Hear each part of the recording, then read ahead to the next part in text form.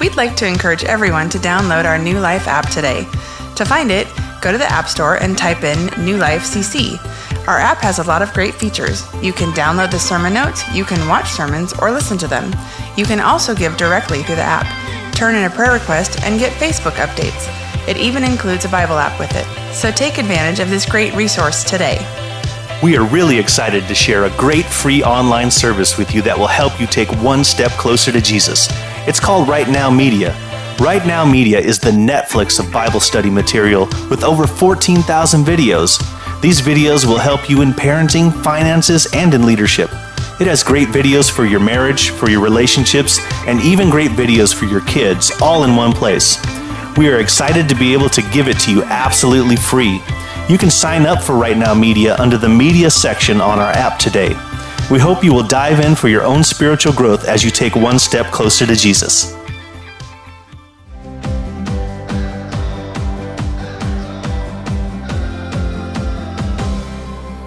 I want you to turn to the book of Matthew, chapter 20. And we are going to launch into a brand new message series today, and we're going to do that in just a moment. So, you're getting all those things situated, and while you're doing that, I want to just share with you uh, a couple things. So, today is a real transition weekend for us here at New Life, something we have never experienced in the history of our, of our church. But we have a group of, of staff, a team that is amazing that God has brought together, and this is their last weekend to be here on our campus in a regular basis. They will still be back, but on a regular basis because starting next weekend, our New Life Patterson campus is going to launch three preview services. So, a preview service is a regular service with a lot of explanation. Uh, so they're trying to get their teams up to speed to let them know what to expect and what to do. So they'll be explaining a lot of things as they go along, but giving everyone a taste of what it's going to be like at our New Life Patterson campus. And then coming on Easter weekend, on that April 1st, they are going to launch full time uh, as our campus in Patterson and throughout the West Side. And we are just so excited about what that means. That has been a long time dream being realized that we felt all those years ago, God kind of tapping us on the shoulder, saying, There's something for you out here on the west side of the valley. And all those years of praying and preparing and all those things, bringing the right people. God has finally brought it to this point, and we're excited about the launch of this campus. So, in just a moment, I'm going to have that Patterson leadership team come on up here, and we're going to commission them and pray over them and do that. But before they come, we have been working on a New Life Patterson video, and it's going to be going out into social media today. You'll be able to see it, but we wanted to give you a chance to see the video right here today. So sit back for a moment and watch this video. About 10 years ago, my wife Gina and I were coming back from the Bay Area, and we took the exit into Patterson on our way back. And, and I remember thinking, Patterson is such a neat little community. And one day, I wonder if God is leading us to plant a New Life campus here. As we came through those miles of palm trees on either side of the road, we start looking into those hills and we thought, this is a beautiful place. We see this clear distinction between the old historic agricultural Patterson, and then there's this new industrial progressive side of Patterson that's been influenced by the Bay Area and so many different commercial places in our state, and we see it all having this focus right here in Patterson. There have been lots of major corporations that have moved here over the last decade, and you see it impacting the valley and this community in particular. As you know, with the surge of industry and business comes an incredible influx of people as well. I remember that day driving into Patterson and seeing literally hundreds and hundreds of homes being built and recognizing that with those homes is people. And New Life has always been about people. In fact, our passion, our heart, is loving people one step closer to Jesus. And this growth in Patterson and beyond has been incredible. Just 20 years ago, there were 7,000 people who called Patterson their home. Now, over 22,000 people. Think of the hundreds of families every single year moving into this community. Over this last year, we've been working really hard to find a location, putting all the right people into place, the right team in place making connections in and around the community, and praying about how God wants to use us to impact the city of Patterson. Remember, our passion is to love people one step closer to Him, and in that, we desire to make room and a place for people to find and experience Jesus. What once was a dream 10 years ago, God is making a reality. His timing is perfect, and we believe that He has given us just the right people for just the right season. Not only for new life, but for Patterson and the West Side as well. Well, my name is Jeremy Moore, and I came on staff in March of 2017 as the campus pastor for New Life Patterson. So I first received a phone call from one of the staff members uh, here from New Life, and that was back in December of 2016. And he started telling me about all these amazing things that are happening here at New Life in the Central Valley of California, and telling me about all these great things. And so I remember distinctly listening to everything he's saying and then hanging up the phone and looking over to my wife and saying, This is great. There's a lot of great things happening, but I am not moving to California. There's earthquakes in California, so I'm not going to California. So the more I began to talk to the leadership of this church out in the valley, I began to think, man, we could actually do this. There really is something special happening in and through New Life Christian Center in the Central Valley of California, and maybe we could be a part of something special.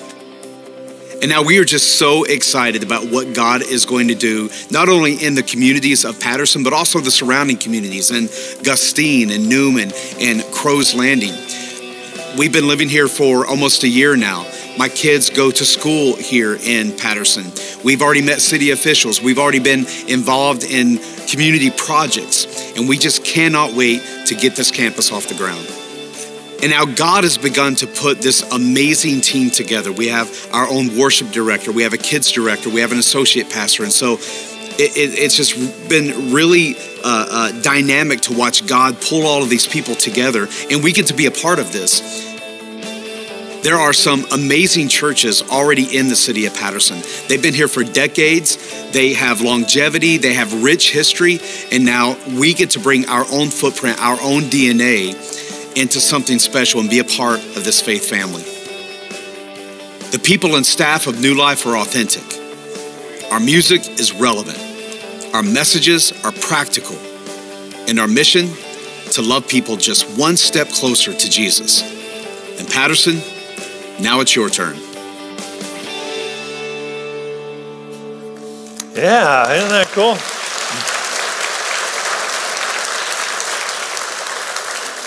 I tell you, every time I watch that, it's just like, that is an answer to prayer. That's an answer to prayer. And I'm going to ask our Patterson uh, launch team to come on up here, and uh, we're going to pray over them. Give them a hand as they come.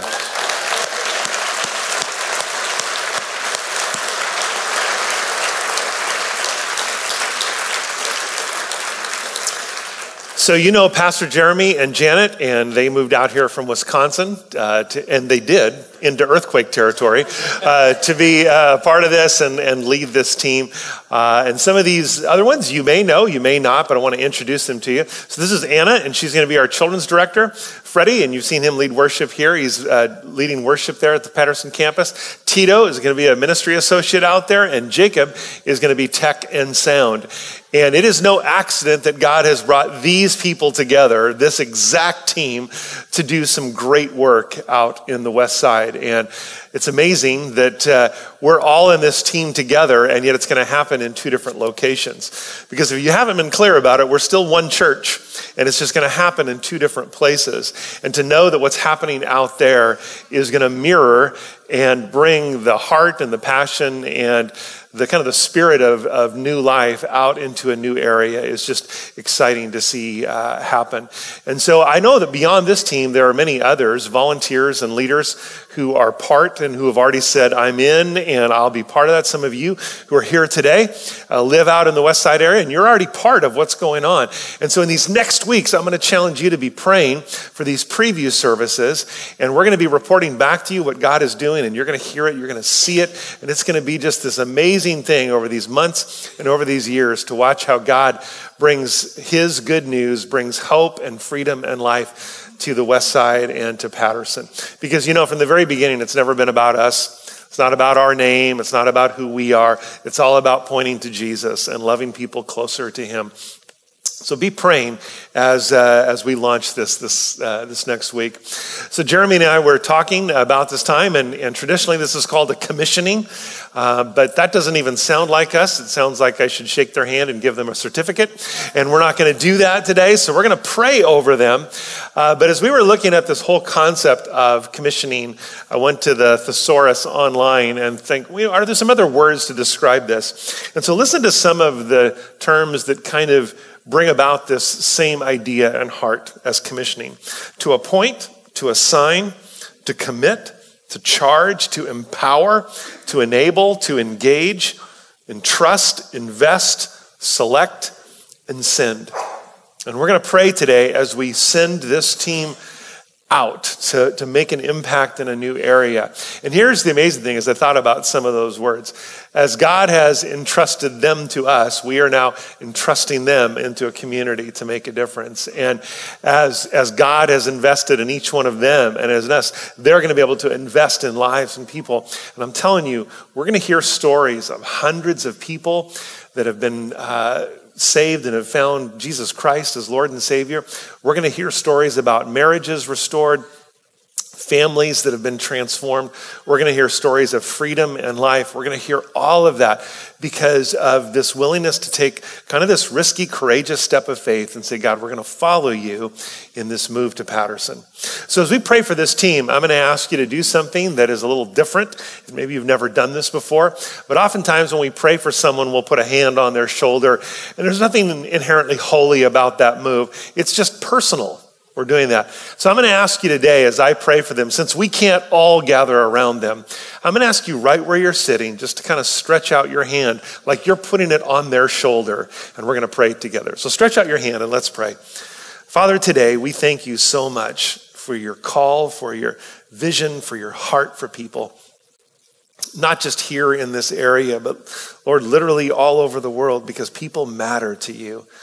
And Lord, as, as you have been doing great work here among us, and God, we're humbled by that, but you've also challenged us to move out beyond, to plant these lighthouses of hope. And Lord, as, as we begin to launch this New Life Patterson campus, I pray, God, that you would do mighty things.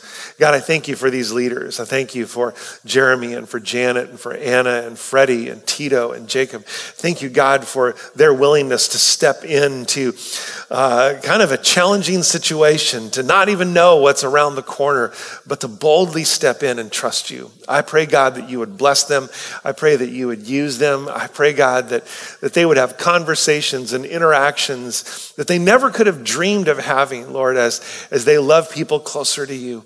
Lord, I pray for us as a church together, one church in multiple locations, that you'd give us wisdom as we take steps forward. Lord, that you would bring about your blessing in your direction. Because, God, we, we only want to do what you're leading us to do. And so we thank you for this moment, this historic moment, God, when we when we launch this new campus. We thank you, we love you, we praise you, we honor you today in Jesus' name. Amen. Amen. Would you give a round of applause and thank this team for all they're doing? Love you guys. They have been around for four services this weekend. Can you believe that? If you have your note taking sheet, we're going to dive into this, uh, this message today in this new series called The Shape of Jesus. And leading up to, to Easter, we're going to be taking a look at the teaching and the life of Christ, his character, and how in the process of that, God is, is molding us more and more into his likeness. Uh, when I was a kid, I received a, a Christmas present, and I loved this present. Uh, and it was called Creepy Crawlers. Does anyone remember creepy crawlers? Thank you. Thank you. I felt so old. You know, people going like, what? What is that? Well, creepy crawlers, how it worked is they had these uh, little metal plates and they were forms and they were like indentations that were shaped like bugs and worms and caterpillars and all kinds of things. And you took this goop and you put it into those in different colors. You could do all that. And then you put it right in this little oven heating element thing that would fuse that goop into like a rubbery bug. This is in the days when you gave kids heating elements and stuff like that with no safety precautions. You could just do whatever you wanted. And you'd have these bugs, and you know, I could scare my sister and do all those things. And it was just this really cool thing. But I've been thinking about that as we've been talking on our staff and our team about this whole idea of the shape of Jesus and how God, again, takes situations and circumstances, even those heated moments of our life when we feel like we're in the, the pressure cooker, to fuse us and to shape us to respond like Jesus. Now, this isn't God trying to make you somehow different than how He uniquely wired you. See, sometimes we think we're going to lose our personality or our sense of humor, and say, no, no, no. God loves how He made you.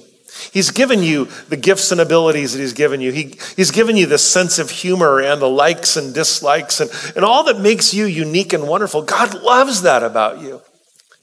But that's like kind of the raw form, and yet God still wants to take and shape you, the unique person that you are, more and more in your responses, that, that you leave kind of this taste of Jesus uh, in people's mouths when they encounter you. That there's something that's like, what is it about you? And it's because of Christ in you, His work in you that is transforming and making you different.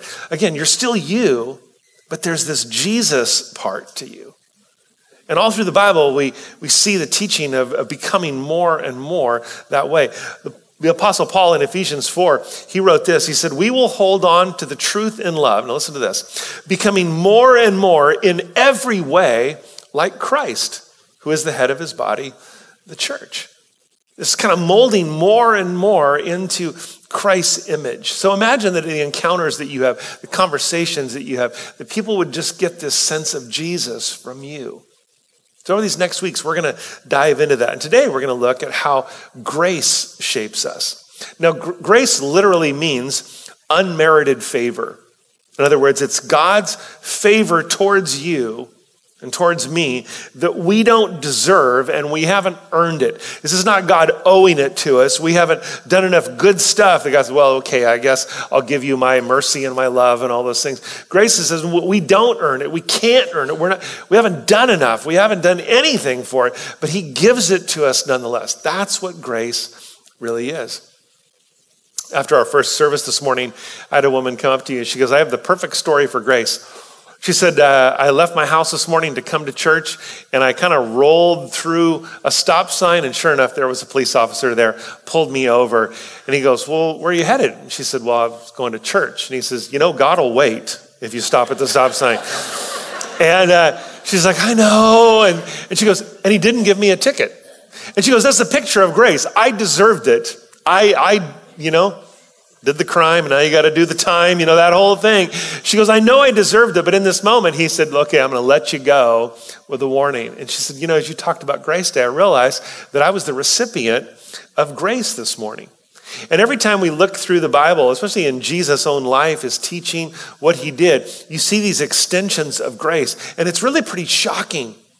It's amazing that how he offered it to people that we would look at and say, well, well they didn't even deserve it. Because here's the thing grace always makes us do a double take. Grace always makes us go, oh, yeah, wait, what? That person? That person was given mercy? That person was extended love? It just doesn't make sense to us. And you can, you can read through. I mean, people like the woman at the well. Do you remember that story? She was in relational chaos in her life. And yet, while she should have been you know, treated a certain way, Jesus instead extended this grace and mercy to her. Not excusing. Grace isn't just going, oh, the stuff you did didn't matter. It's not saying, oh, it's no big deal. It really is a big deal. That's why grace is so powerful. And you think of Matthew, the tax collector, who everyone really kind of pushed to the sidelines, and Jesus said, Come and follow me. The woman caught in adultery, who should have been punished for, for the crime that was in that, in that culture, and yet Jesus said, What? No one condemns you. Go and sin no more. and the thief on the cross, who really did deserve to be on a cross, who really did deserve to have his life forfeit. And yet, what did Jesus say? Today you'll be with me in, in paradise. And we can read those stories about Jesus, and yet we do them with a little bit of distance and a little bit of detachment, right? Well, those were, those were such kind moments that Jesus extended. You know, just it's wonderful that he would do that because we're not up close. But what about it when it's someone that, that we really do know? What about when it hits home for us and we think, wait a minute, surely God's grace can't be for them. Surely he wouldn't extend it to someone like that. Like, what if, what if grace was extended to the, I don't know, the shooter in Florida? And we think, oh, really? For people like that? Again, not excusing anything, not saying what he did didn't, didn't matter or that it's just okay. It's not that at all. But if grace is really powerful, then it's true for all of us. It's true for your spouse when they make you crazy, or your kids when they disappoint you, or for your boss or supervisor or teacher or professor that you have that you just, oh, they make your life miserable. And and yet, is God's grace for them? What about for your ex?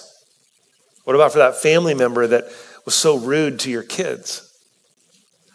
See, if grace is powerful, if grace is true and it's real, then it really does apply to all of us. Because here's the truth we're going to have to somehow come to terms with. We all fall short. We're all in need of grace. So, we're going to dive into some of Jesus' teaching today. In fact, we're going to look at a parable that he told. A parable is, is not meant to be a line by line view of theology, but a parable is meant to be a picture of truth. And when Jesus told a parable, it was always about something. It wasn't a true story, but it was a truism. So he would tell something and we'd go, Oh, yeah, I know how that works. And he's the one we're going to look at today is he's going to tell a story about working working a job. And all of us will go, well, I've worked a job. I know what it's like to work hourly or for salary or whatever it might be. And, and we know how, how employment works, right? You are trading some of your life for resources in return. You're getting a paycheck back. I know that seemed really depressing to some of you. Wait, I'm trading my life? You're actually trading your life for money. And so you can pay your bills and you go, oh, that's how it works. But we all go, oh, I know, I know how that how that transpires. I know how that goes around. And yet Jesus is going to take this little twist and we're going to go, oh, wait, uh, oh, that applies to me. Because Jesus in this parable is not actually teaching us about employment. He's going to be teaching us about his kingdom, the kingdom of God, and how it operates and how it works. And in his teaching, he is going to begin to form us and shape us by his grace. So if you're there in Matthew 20, we're going to pick it up at verse 1. It says this For the kingdom of heaven is like the owner of an estate who went out early one morning to hire workers for his vineyard. And he agreed to pay the normal daily wage, and he sent them out to work. So let me pause there for a second. So again, you see Jesus himself saying, Listen, I'm about to teach you about the kingdom of heaven, about the kingdom of God, how it operates, how it works. Specifically, he's going to teach us about this concept of grace. Then he begins to explain there's this owner, he has a vineyard and uh, this estate. So he goes out early one morning. So let me tell you how this works. Early one morning means six o'clock in the morning. Because in that culture, a workday started, especially out in the fields, it started at sunrise and went to sunset. So it was literally kind of a 6 a.m. to 6 p.m. thing. So you know, that's how the workday went. So he's gone out and he has hired a group of people at 6 a.m. early in the morning, and he sent them out and he said, I'm going to pay you the daily wage for your labor today. And he goes. Now look at verse 3. At nine o'clock in the morning, he was passing through the marketplace and saw some people standing around doing nothing. So he hired them, telling them he would pay them whatever was right at the end of the day. And at noon, and again at three o'clock, he did the same thing. So you're catching this? Guys go to kind of a central place in town, and, and foremen and managers of, of property, they would come in and say, You, you, you, you, and you, come with me. I've got a day's work for you today. And guys would show up. Have you, I don't know if you've ever seen this. I've been in places where, like around hardware stores or lumber yards, sometimes people will gather hoping to get hired for the day. And that's what they would do on this. But here's the kind of tricky part that happens, starting at verse 5. So at 5 o'clock that evening, now remember, this is one hour before quitting time. At five o'clock, he was in town again and saw some more people standing around. And he asked them, Why haven't you been working today? And they replied, Because no one hired us. And the owner of the estate told them, Then go on out and join the others in my vineyard. And we're going to pick it up again in a few minutes, but I want us to stop right here for a moment. Understand this, this owner has hired now five groups of people. His 6 a.m. first start at 9, at 12, at 3, and then one hour before closing time, he hires this last little group of people. So here's my question for you what kind of workers do you think he got at six o'clock in the morning? Right? He got the A team, right? These are the people, they're ready. They're up early. They're, they're, they're probably young and strong and they're ready to go. They're just saying, come on, hire me, hire me. I'm ready to go. And so he hires them and, and they head out to work. Now at nine and at 12 and at three, what kind of workers do you think he's getting? You're getting B team, C team, the D team. You know, I mean, as the day goes on, it's who's left? It's the less desirable workers, right? They're, they're hanging around. They're wondering, am I going to get a job today or not? And, and it keeps going down and down and down. And by the time he hires the five o'clock workers, he has officially arrived at the bottom of the barrel. These are the guys that nobody wants, that nobody's hired. They're probably older, they're probably not as strong, not as fast, not as able. They may have physical issues, they may have health issues. They're just simply trying to provide for their family. And they're out there thinking, nobody is. Can you imagine getting passed up at three o'clock in the afternoon, thinking, oh man, there's nothing happening for me today. Well, that's these guys. That's who's left. But what, is, what does this owner say to those at five o'clock? He says, I want you to go out and I want you to join the others in my vineyard. They're thinking, this is unbelievable. At least I'll get an hour's worth of work in. Now remember, Jesus is telling us what his kingdom is like, not what employment looks like, not what it looks like to get a paycheck. He's telling us what his kingdom looks like.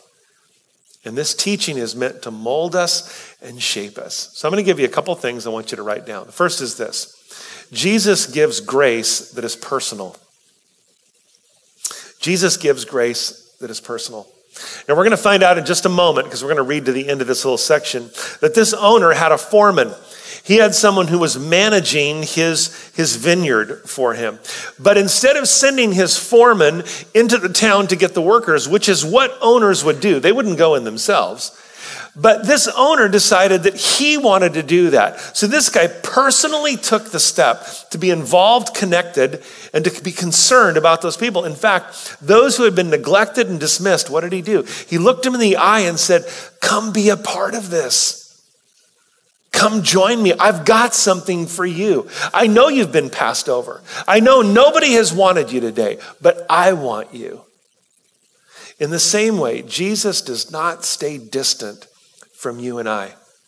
Regardless of how capable you are or how much you have struggled. No matter how much life has been smooth or that you're loaded with, with baggage, Jesus comes and he says, I want to be personally involved with you. No matter what you bring to the table, no matter what your past is like, Jesus said, Come join me in this. He's giving us an example of how his kingdom works. It's not the young and the best and the brightest and the fastest. He's looking for anyone who's willing. He says, Come. Now look at verse 8. I'll finish reading this out.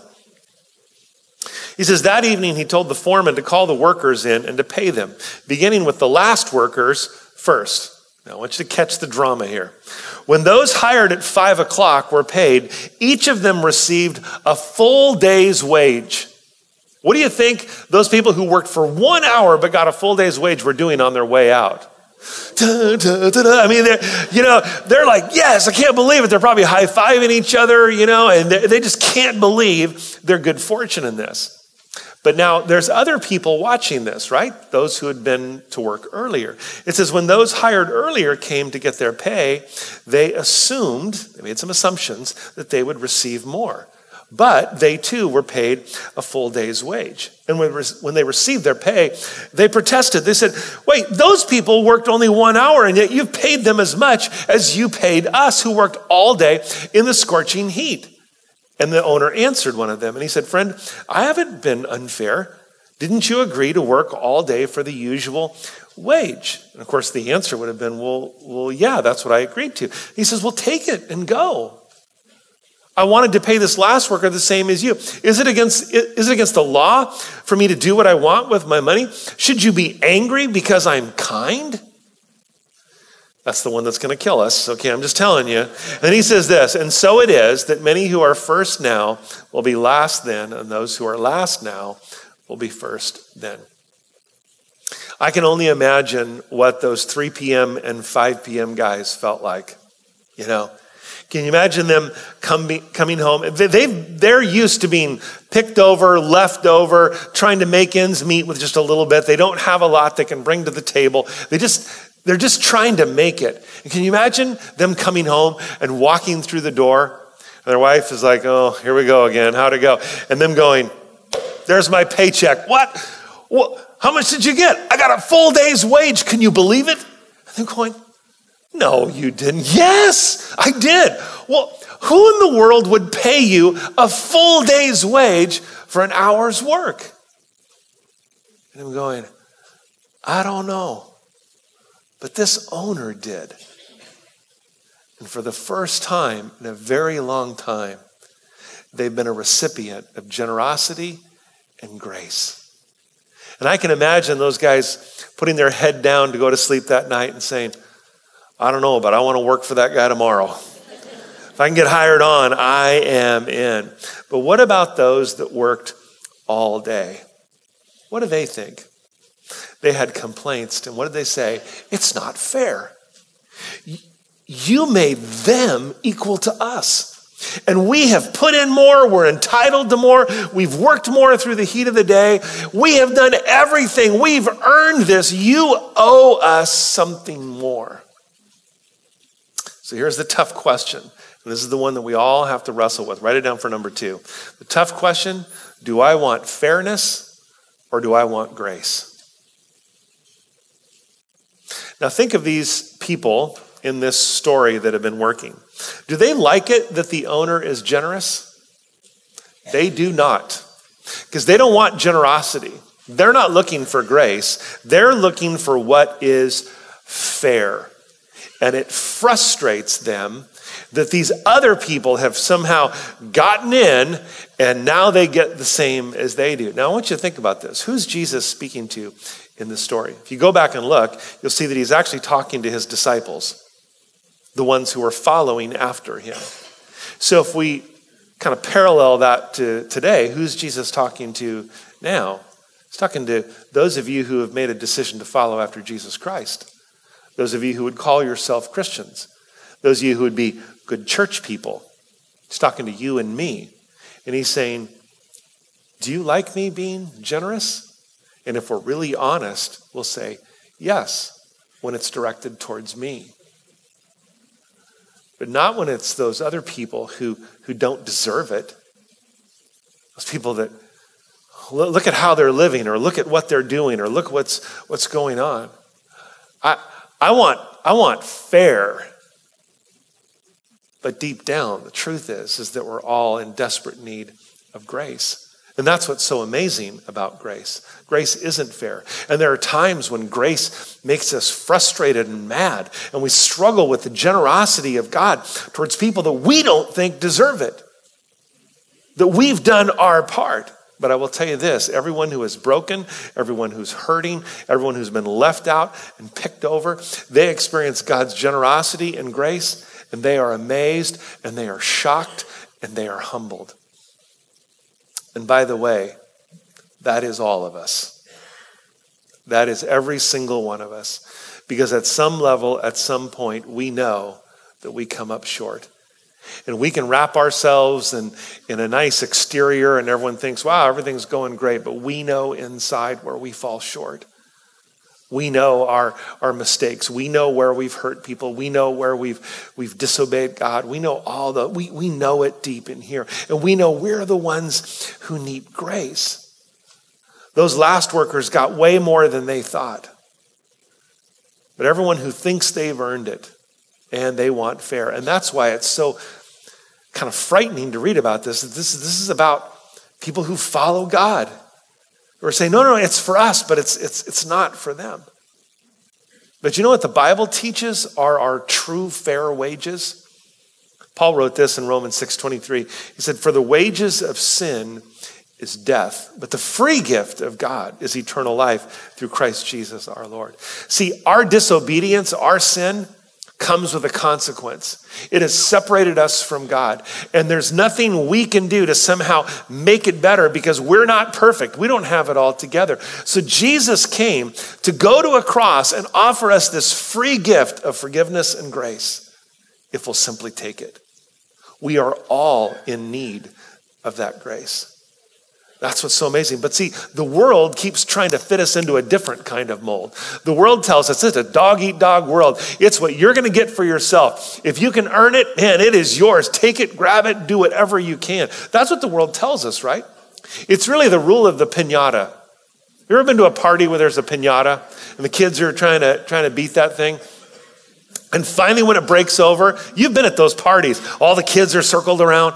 And when it finally breaks open, who gets the most candy? The kid who's shoving people out of the way, putting it up in his shirt, and shoving, and you see this little girl on the side digging a piece, one piece of candy out of the grass. That's all she got because she was nice. And nice doesn't get you anywhere, right? That's what the world tells us. So, man, you got to push. And, and, you know, if you're going to get ahead in business, man, you better make it happen. If you're going to get ahead in relationships, you better make it happen. The strong thrive, the weak, man, they just get by. But here's what I want you to hear at some point, life always takes a turn, doesn't it? Life always takes a turn. And you and I, we're going to get hit, and we're going to get hit hard. And some of you are already, you know that because you've walked through hit after hit after hit. It might be your marriage, it might be your family, it might be school or work or career, finances, your health, habits, temptations. And those things are going to come like a flood and it's going to knock you sideways. And in those moments, can I tell you this? You're not going to be looking for fair, you're going to be looking for grace. You're not going to be looking to say, hey, hey, God, I went to church. You owe me, God. Did you see me? I was sitting in church today. I even put something in the offering for goodness sake. God, you owe me something big. I'm doing what I can. It's not going to be our list trying to prove ourselves to God. We're going to be looking for the gracious, generous hand of Jesus that will take hold of us. And Jesus tells us that he's the one who goes to the end of the line to that 5 p.m. worker and says, I am for you and I love you. Write this down for the last one. All I really have is because of Jesus. The Apostle Paul was so overwhelmed by this fact that in 1 Corinthians 1, here's what he wrote Take a good look, friends, at who you were when you got called into this life. I don't see many of the brightest and the best among you. And I know when I read that, it's like, hey, hey, wait a minute. And he says, not many influential, not many from high society families. Isn't it obvious that God deliberately chose men and women that the culture overlooks and exploits and abuses? Chose these nobodies to expose the hollow pretensions of the somebodies. That makes it quite clear that none of you can get by with blowing your own horn before God. Everything we have, right thinking and right living, a clean slate and a fresh start comes from God by way of Jesus Christ. It's all from Him.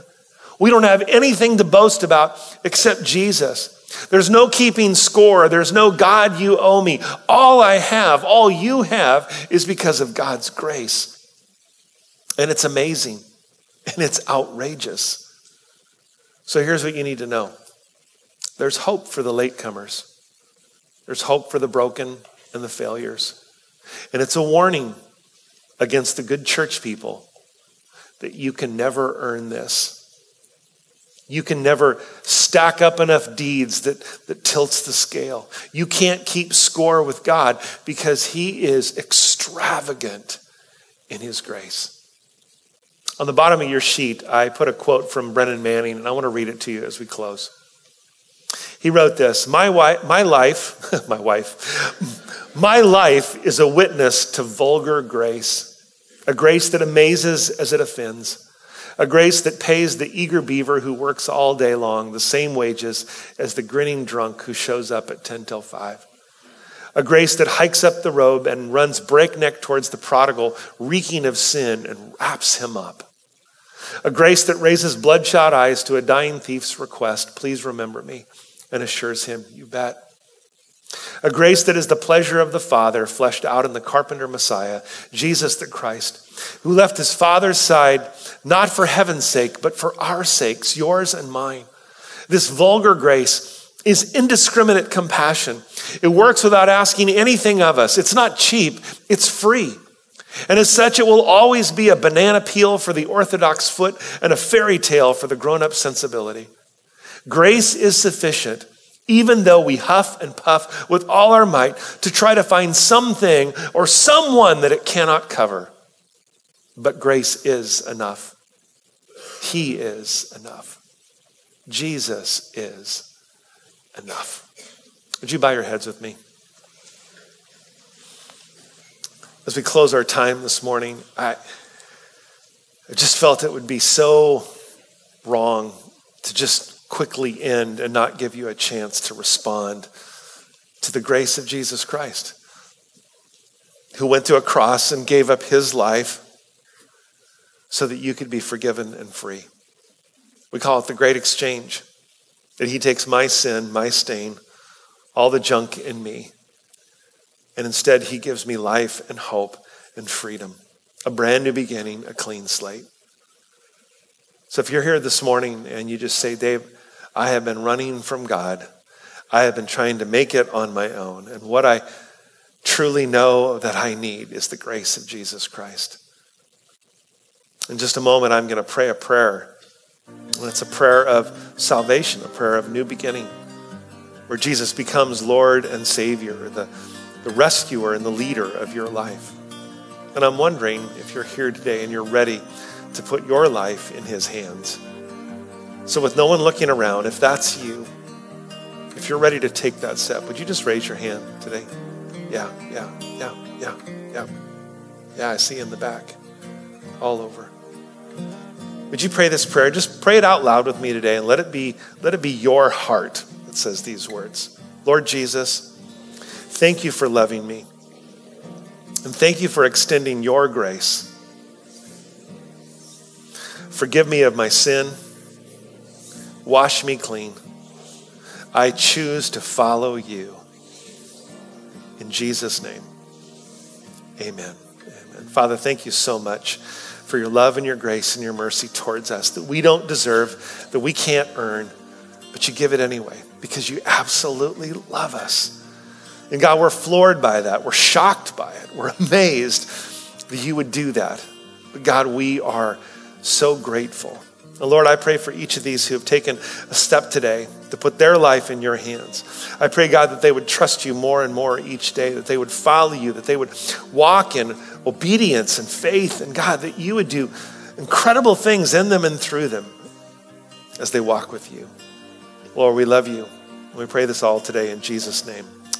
Amen.